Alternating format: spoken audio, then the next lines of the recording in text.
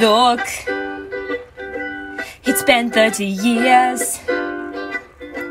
There's been lots of tears. And people spreading lies about me that aren't true, especially this guy.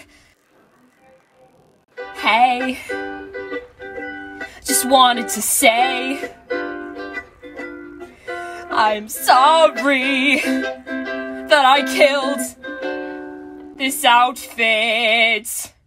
Just because I slay doesn't mean I slew everything that was said. It was only half true, or maybe 87%, but I won't admit that, cause I'm William Afton, and I always come back.